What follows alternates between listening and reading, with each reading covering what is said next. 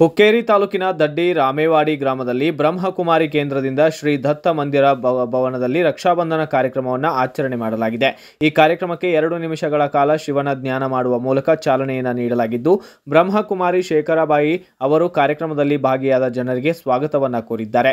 ಇದೇ ಸಮಯದಲ್ಲಿ ಬ್ರಹ್ಮಕುಮಾರಿ ವೀಣಾ ಸಿಸ್ಟರ್ ಅವರು ಸ್ವಾತಂತ್ರ್ಯದ ಅಮೃತ ಮಹೋತ್ಸವ ಬಗ್ಗೆ ದೇಶದ ಜನರಿಗೆ, ವೀರ ಸೈನಿಕರಿಗೆ ಹರ್ ಘರ್ ತಿರಂಗ ಅಭಿಯಾನ ಮಾಡಿರುವ ನಮ್ಮ ದೇಶದ ಪ್ರಧಾನಿ ನರೇಂದ್ರ ಮೋದಿಯವರಿಗೆ ಶುಭವನ್ನ ಕೋರಿದ್ದಾರೆ.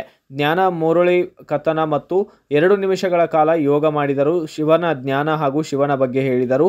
ಇದೇ ಸಮಯದಲ್ಲಿ ರಾಜಯೋಗಿನಿ ಬ್ರಹ್ಮಕುಮಾರಿ ಮಾದೇವಿ ಸಿಸ್ಟರ್ ಅವರು ರಕ್ಷಾಬಂಧನದ ಆಧ್ಯಾತ್ಮಿಕ ಸತ್ಯವನ್ನು ಜನರಿಗೆ ಮನವರಿಕೆ ಮಾಡಿದ್ದಾರೆ. ಈ ಕಾರ್ಯಕ್ರಮದಲ್ಲಿ ಗಿರಿಮಲ್ಲ, ಹಳಿಜೋಳಿ, ನಾರಾಯಣ, ರಾಜಶೇಖರ್ ಸೇರಿದಂತೆ ಮುಂಗುರವಾಡಿ ಮತ್ತು ಅನಿತಾ ಕುಲಕರ್ಣಿ ಇನ್ನಿತರರು ಗ್ರಾಮಸ್ಥರು ಕೂಡ ಇದೇ ವೇಳೆ ಉಪಸ್ಥಿತರಿದ್ದರು.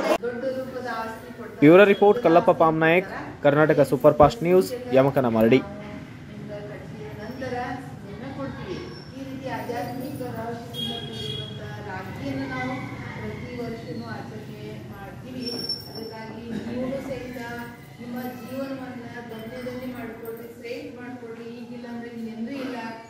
ಭಗವಂತನು ಬಂದು ಈಗಾಗಲೇ ಎಷ್ಟೊಂದು ವರ್ಷ ಆಯ್ತು ಈ ಒಂದು ಸೃಷ್ಟಿ ಮೇಲೆ ಈಗ ಭಗವಂತ ಹೋಗು ಟೈಮ್ ಐತ್ರಿ ಬಂದ.